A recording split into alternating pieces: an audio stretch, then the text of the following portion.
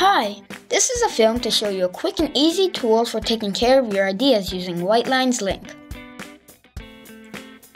You need a Whitelines Link paper and a smartphone with the Whitelines Link app.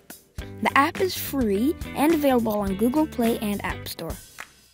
When you have made your piece of art, position your phone over the paper, wait for the app to automatically capture your note.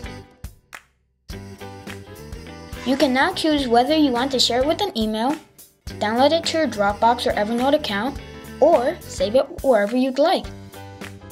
Use the quick box on the bottom of the page to get a shortcut to your favorite sharing place even before capturing your note. Whitelines Link is the analog way to be connected.